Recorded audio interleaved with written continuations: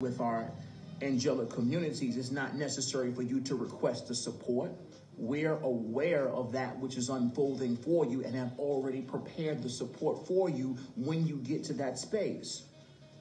You cross that bridge when you get there. The bridge was already set for you because, once again, as angelic guardians, we exist beyond the illusion of space and time. We recognize what's going to take place two, three, four, five seconds before you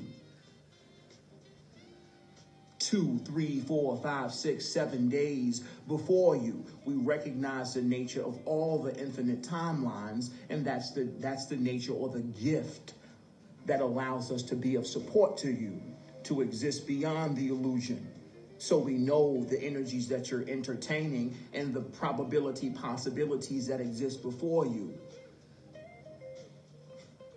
So, of course, the request to the angelic realms wouldn't be Please help me with this. Please give me the guidance. Please give me the strength. Please give me the support, the resources that I need. The request would be, or it wouldn't necessarily be a request, it'd be a statement. The statement would be, Thank you.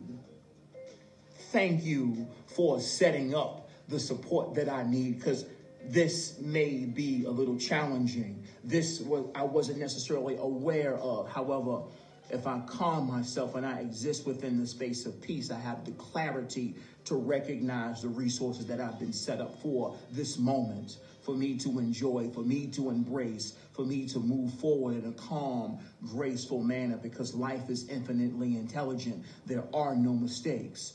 It's necessary for me to feel the feelings that this now moment provides. Me feeling the feelings that this now moment provides expands my capacity to receive more of my love. It was only necessary for me to feel and be okay with feeling the way that the experience may have triggered or brought about. So of course, once again, there's never there's no such thing as too much gratitude. No such thing. There's no such thing as too much gratitude. The blessings continue, the experience continues, and the unconditionally loving support continues for you in each and every moment. That which you're creating for yourself, you are safe in this now moment. The ignorance of the mind identity feels that you need to prepare, to get ready for, as if aspects of self with access to infinite abundance of information and resources aren't already aware of that which is within the illusion. Thank you, Meg. Thank, thank the triggers. Thank you for triggering me. Thank you for showing me where the kinks were in my armor. Thank you for showing me that. I can recognize those feelings, readjust and reestablish more of an awareness in the grounded nature of the divine truth. I'm safe. This is my experience. This is my creation. So, of course, I can celebrate. I can show life. I have the capacity to receive more love. Every experience has a polarity or the mirror opposite of that particular experience. It's just that Peace is necessary for me to recognize both ends of the spectrum, both sides of the same coin. Peace is necessary to recognize that. poise, cool. Cool is a Nigerian word. It was about poise. It was about cool. It was about trust. It was about confidence. It was about knowing to be hip, to know that you're safe. That's the nature of cool. In truth, us in this spectrum of existence, as we continue to respect and acknowledge and trust ourselves, we are the new leaders of cool. There's nothing cooler than peace. Nothing. You know, some may say love, but listen, love is the fabric, peace is the frequency. Love is the fabric of existence. Yes, unconditional love and acceptance, that's the fabric. However, peace is the eternal frequency. That is who you are. That is the truth of you. The state that you're in when you wake up in the morning, the state that you're in before you close your eyes to go to bed at night. That is who you are. Emotions are temporary. You are eternal. Peace is who you are.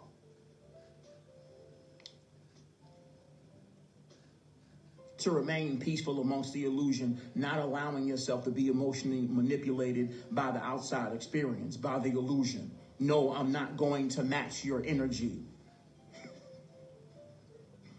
That is you manipulating me. That is you changing me. No, I'm the Prince of Peace. I am God manifest in this reality. Imagine me following you. No, I'm not going to match your energy. I am the creator. I'm here to set an example. I'm here to lead. No, I'm not going to match your energy. I'm not a follower. I'm a leader.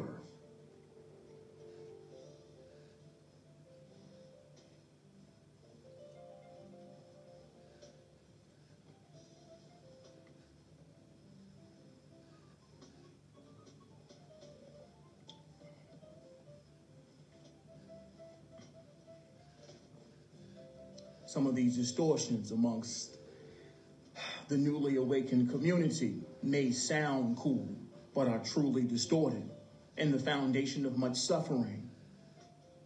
The cycles of suffering, me feeling as if me getting back at myself is somehow accepting myself. No, I'm hurting myself as I so fervently intend to exist beyond the drama, I'm allowing people to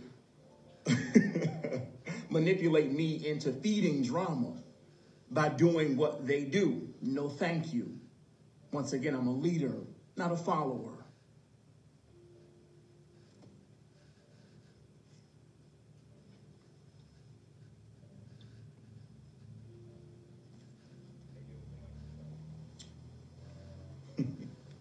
I don't need to protect my energy.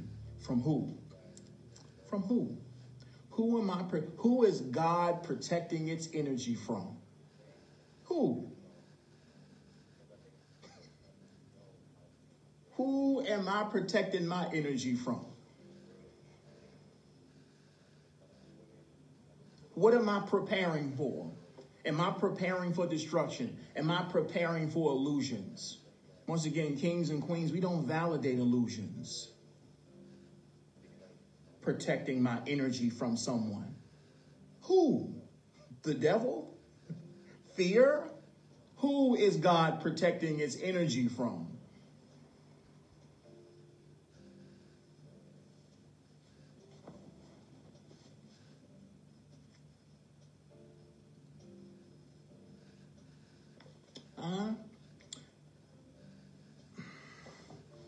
Peace doesn't win because nobody loses. Love is not here to conquer because that's all there is. Love doesn't conquer anything. There's only love. God doesn't win anything. There's only God. There's only me. There's only my energy, me experiencing my own energy. It requires great confidence to exist beyond the games of duality, beyond the mind games of the illusion. Even the way that we've been programmed to speak is riddled with separation.